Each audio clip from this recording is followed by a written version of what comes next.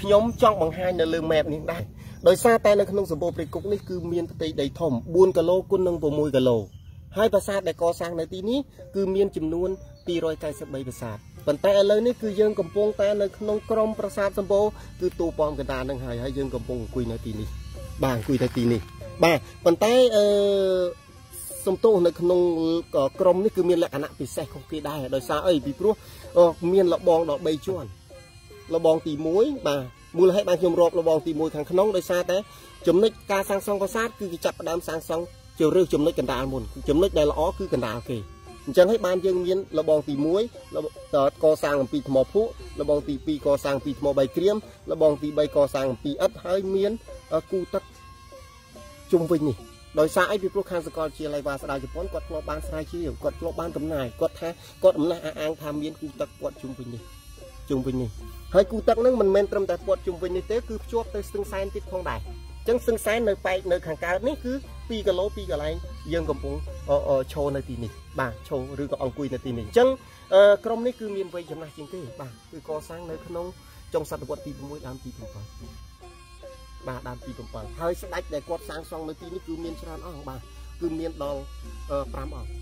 6អង្គតាំងម្ចាស់ស្ត្រីអញ្ចឹងហើយគឺយើងមានស្ដេចភវរ្ម័នទី1 នៅក្នុងឆ្នាំ598ដែលគាត់ចាប់ផ្ដើមចង់និយាយថាមកដល់ទីនេះមុនគេអញ្ចឹងហើយបានមានមហិន្ទ្រវរ្ម័នមហិន្ទ្រវរ្ម័នហ្នឹងឯងពេលបងប្អូនខ្លះគាត់អាចហៅថា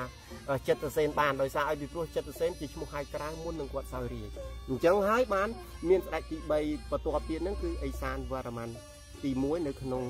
ឆ្នាំ616 635ហ្នឹងហើយបន្ទាប់ពីហ្នឹងមកទៀតបានមានភរ្ម័នទី 2បាទជ័យវរ្ម័នទី1ហើយនឹងជ័យទេវីអញ្ចឹងជ័យទេវីគឺជាស្ដេចក្រោយគេបង្អស់នៃសម័យចេនឡាហ្នឹងចិនតសេឯកសារមួយនៅប្រទេសខ្មែរយើងហ្នឹងដែលគាត់បានមកឃើញផ្ទាល់គាត់ថាចេនឡាបែកជាទី2ដោយសារគាត់ពឹងទៅលើទីក្រុង2ការអភិវឌ្ឍទន្ទឹមគ្នាទន្ទឹមគ្នាក៏ប៉ុន្តែបើឯកសាររបស់ខ្មែរគឺអត់ចាត់ទុកថាចេនឡាបែកជាជា2ទេ មូលហេតុអីពីព្រោះអឺអឺដូចយើងសពថ្ងៃឧទាហរណ៍ភ្នំពេញហើយនិងសៀមរាបអញ្ចឹងបើភ្ញៀវមកពីអឺអាមេរិកអង់គ្លេសគាត់អត់ធ្លាប់ស្គាល់ខ្មែរពេលគាត់មកដល់សៀមរាបឃើញការអភិវឌ្ឍនៅសៀមរាបល្អបាទអញ្ចឹងក៏គិតថានឹងជាទីក្រុងមួយដែរប៉ុន្តែដល់ពេលគាត់ទៅដល់ភ្នំពេញក៏ជាទីក្រុងមួយដែរអញ្ចឹងនៅសម័យនោះដូចគ្នាពេលដែលគាត់មកទីនេះគឺគាត់មកដោយតាមផ្លូវទឹកអញ្ចឹងពេលដែលគាត់ទៅដល់ហាន់ជ័យកំពង់ចាមគាត់ឃើញទីក្រុងមួយនៅទីនោះគឺរីកចម្រើន បាទពេលមកដល់សម្បូរព្រៃគុកនេះជារាជធានីជាឡាដីគុកដែរជារាជធានីមួយដែលរីកចម្រើនដែរអញ្ចឹងហើយបានធ្វើឲ្យគាត់យល់ច្រឡំថាអូនៅក្នុងសម័យកាលនោះគឺទីប្រទេសកម្ពុជា គឺបែកចេញជាពីរបាទដែលហៅថាប្រទេសជាឡាហ្នឹងបាទក៏ប៉ុន្តែឯកសាររបស់ខ្មែរគឺអត់បានបញ្ជាក់ដូចនោះទេ បាទអញ្ចឹងខ្ញុំចង់ឲ្យបកមកលើផែនទីនេះបន្តិចវិញបាទដោយសារតែអឺពេលដែលបងប្អូនមកទស្សនានៅក្នុងសម្បូរព្រៃគុក ពេលទស្សនាសម្បូរព្រៃគុកគឺចែកចេញជាពីរបាទអញ្ចឹងនេះគឺជាតំបន់ប្រាសាទអញ្ចឹងតំបន់ប្រាសាទហ្នឹងគឺអត់មានមនុស្សរស់នៅទេប្រាសាទ293ប្រាសាទធ្វើសម្រាប់តែសក្ការៈបូជា បាទអញ្ចឹងនៅប៉ែកខាងលិចហ្នឹងគឺចម្ងាយ2គីឡូពីយើងកំពុងតែអង្គុយនេះបាទគឺមានប្រជាជនរស់នៅ20000គ្រួសារ20000គ្រួសារអញ្ចឹងខណ្ឌដោយអូគ្រូកែជាអូធម្មជាតិគាត់ប្រើសម្រាប់គូទឹកមួយដែរ អញ្ចឹងហើយគាត់ធ្វើគូទឹកហ្នឹងដោយដៃគឺ3ជ្រុងអញ្ចឹង2គីឡូ4ជ្រុងហ្នឹងគឺប្រជាជនរស់នៅ20000គ្រួសារនៅទីនេះហើយគាត់ធ្វើស្រះជាង400ស្រះដើម្បីធ្វើកសិកម្មដើម្បីធ្វើកសិកម្មអញ្ចឹងបើយើងគិតទៅក្មេងបច្ចុប្បន្នសម្បីធ្វើកសិកម្មស្រែរាប់ហិកតាតែពេលខ្លះយើងមានត្រឹមតែស្រះតូចឬក៏គូអអប្រព័ន្ធទឹកនឹងតូចទេតែសម័យមុនយើងមើលបាទ គាត់អត់មានគ្រឿងចាក់អត់មានអីប៉ុន្តែការសាងសង់ស្រះរបស់គាត់បាទហើយនឹងគូទឹករបស់ប៉ុនគាត់អញ្ចឹងហើយបានធ្វើឲ្យទីក្រុងមួយនេះនៅសម័យមុនគឺអត់សូវអត់អត់លិចទឹកទេអត់លិចទឹកទេពីព្រោះគាត់មានផ្លូវទឹកចេញចូលតែម្ដងបាទផ្លូវទឹកចេញចូលតែម្ដងអញ្ចឹងរាជធានីរបស់ស្ដេចបើតាមការស្រាវជ្រាវគឺគេសន្និដ្ឋានថានៅទីនេះនៅចំចំណុចកណ្ដាលដែលប្រជាជនរស់នៅតែម្ដងប៉ុន្តែស្ដេចប្រហែលជាគាត់រស់នៅក្នុងសំណង់រាជវាំងឈើទេ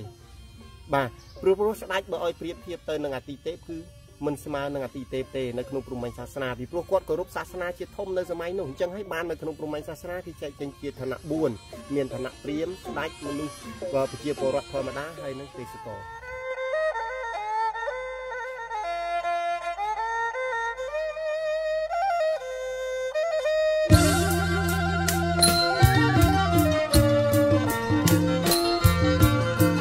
ស្រណោះរីយំចិត្តខ្ញុំអាសូរប្រាសាទសំបូរព្រៃគុកក្រៀមក្រំស្រណោះរីយំចិត្តខ្ញុំអាសូរប្រាសាទសំបូរព្រៃគុកក្រៀមក្រំសង្ម័យសង្គ្រាមឈាមខ្មែរជោគចំ ប្រាសាទខ្ទេចខ្ទំព្រះស្រំបាក់បាច់អើងអើយព្រះស្រំបាក់បាច់ប្រាសាទសម្បូរខ្ញុំអាសូរអ្នកកំពែងជន់ថ្នាក់ចម្លាក់ល្អអាចប្រាសាទសម្បូរខ្ញុំអាសូរអ្នកបំពេញជន់ថ្នាក់ ចម្លាក់ល្អអាចនរណាទៅណយកដៃបំបែកឆ្កឹងឆ្កៀលក្របភ្នែកបំបែកតថ្មអើងអើយបំបែកក្រុមប្រាសាទសម្បូរនេះគឺមានប្រាសាទច្រើនជាងគេអញ្ចឹងហើយបានគេដាក់ពាក្យថាក្រុមសម្បូរបាទពីព្រោះមានប្រាសាទដល់51ប្រាសាទបច្ចុប្បន្ននេះ បាទ51អញ្ចឹង50ក្នុង51នេះនៅសល់តែ16ទេដែលនៅឈោដែលបងប្អូនប្រសិនបានមកទីនេះនឹងបានទស្សនាបាទហើយនៅក្នុង16ហ្នឹងសម្រាប់លក្ខណៈពិសេសនៃប្រាសាទហ្នឹងគឺអត់សូវខុសគ្នាទេពីព្រោះដោយសារតែនៅក្នុងក្រុមនេះក៏យើងមានប្រាសាទ4ជ្រុងយើងមានប្រាសាទចតុកោណកែងហើយនឹងមានប្រាសាទ8ជ្រុងផងដែរ អញ្ចឹងឥឡូវនេះខ្ញុំចង់បង្ហាញប្រាសាទមុនគេនឹងជាទូប៉មកណ្ដាលនៃក្រុមសម្បូរហ្នឹងគឺនៅខាងក្រៅខ្ញុំនឹងហើយបាទប្រាសាទនេះមានលក្ខណៈពិសេសខុសគ្នាតែម្ដងដោយសារអីពីព្រោះប្រាសាទនេះមានទ្វារបើក4បាទជាទូទៅប្រាសាទសម្រាប់ព្រហ្មញ្ញសាសនាមានតែទ្វារតែមួយទេ បាទមានទ្វារតែមួយទេ តែសម្រាប់មួយនេះគឺមានទ្វារបើក4បាទប៉ុន្តែគួរឲ្យអកុសលប្រាសាទមួយនេះត្រូវបានបាក់អស់ពាក់កណ្ដាលហើយបាទអញ្ចឹងនៅក្នុងឆ្នាំ2000 បាទ2001 2002រហូតមកដល់2017ខាងសាកលវិទ្យាល័យវាសនាជប៉ុនរួមនឹងអភិរក្សបាទអឺមន្ទីរវប្បធម៌វិចិត្រសិល្បៈខេត្តកំពង់ធំបាទនឹងសហគមន៍គឺគាត់បានសហការគ្នាដើម្បីធ្វើកំណាយជួសជុលបាទលក្ខណៈជួសជុលរបស់គាត់នេះគឺមិនធ្វើទៅលើទេគ្រាន់តែធ្វើដើម្បីពង្រឹងឥដ្ឋហ្នឹងកុំឲ្យវាបាក់ពីព្រោះប្រាសាទនេះគឺមានអាយុកាលយូរហើយបាទនៅក្នុងក្រុមនេះគឺមានដល់1500ឆ្នាំ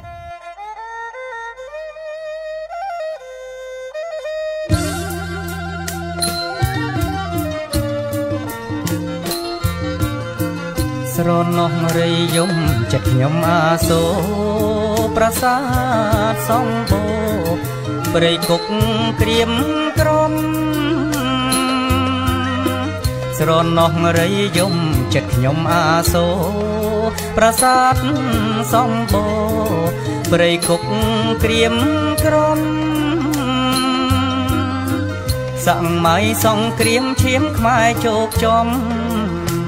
ប្រាសាទខ្ទេចខ្ទំព្រះស្រំបាក់បាច់អើងអើយព្រះស្រំបាក់បាច់ប្រាសាទសម្បូរខ្ញុំអាសូរអ្នកកំពែងជន់ថ្នាក់ចម្លាក់ល្អអាចប្រាសាទសម្បូរខ្ញុំអាសូរអ្នកកំពែងជន់ថ្នាក់ ចម្លាក់ល្អអាចនរណាទៅណយកដៃបំបែកឆ្កឹងឆ្កៀលក្របភ្នែកបំបែកតថ្មតើអើយបំបែកតថ្មអោប្រាសាទតោអ្នកឈរកំសត់ព្រុងព្រាត់តខ្លាំងធ្លាប់រងកំដោ ប្រាសាទតោអ្នកឈរកំសត់ព្រុងព្រាត់តោខ្លាំងធ្លាប់រងកំដោកំពេងពីជន់តបនទេសចរឡោមពាត់នំអប្រាសាទខ្សែបីអើងអើយប្រាសាទខ្សែបី ប្រាសាទនាងពន់សោភ័ណ្ឌឡោមព័ទ្ធ35ប្រាសាទជាខ្នាតអង្រៃប្រាសាទនាងពន់សោភ័ណ្ឌឡោមព័ទ្ធ35ប្រាសាទជាខ្នាតអង្រៃព្រះបាទអេសានវរ្ម័នលបាញល្បី សាងថ្វាយទឹកដីអេសានបរាំងអើងអើយអេសានបរាំងអរុកទេវតាលោកតាព្រៃធំយេទេមនោរមចៅសំពឹងពាក់អរុកទេវតាលោកតាព្រៃធំយេទេពមនោរម ចៅសំពឹងពាក់បញ្ចូលចិត្តខ្មែរថែអភិរក្សវប្បធម៌មហាចក្រខេមរៈខេត្តខណ្ឌអើងអើយខេមរៈខេត្តខណ្ឌប្រាសាទអាស្រមមហាអេសីប្រាសាទដើមជ្រៃ ប្រាសាទដើមច័ន្ទប្រាសាទអាស្រមមហាអេសីប្រាសាទដើមជ្រៃប្រាសាទដើមច័ន្ទប្រាសាទសង់ព្រះប្រាសាទសណ្ដានប្រាសាទបងរៀមព្រះនាមលបាញល្បី ព្រះនាមលបាញល្បី សម័យសម្ដេចតេជោហ៊ុនសែនអភិរក្សដីដែនវប្បធម៌បរិយសម័យសម្ដេចតេជោហ៊ុនសែនអភិរក្សដីដែនវប្បធម៌ប ប្រាសាទសំបូរព្រៃគុកប្រំព្រៃរុងរៀនជាថ្មី ដីក្រុងបូរាណអើងអើយដីក្រុងបូរាណបង្កើតសហគមន៍រួមភូមិ7ខេត្តទំអលជី នៅរមណីយដ្ឋាន បង្កើតសហគមន៍រួមភូមិ7ខេត្តទំអលជីនៅរមណីយដ្ឋានប្រាសាទសម្បូរព្រៃគុកកាងកានទេសចរកំសាន្តបានប្រសាហើយអើងអើយបានប្រសាហើយប្រាសាទសម្បូរ ព្រៃគុកកាងកានទេសចរកំសាន្តបានប្រសាហើយអើងអើយបានប្រសាហើយ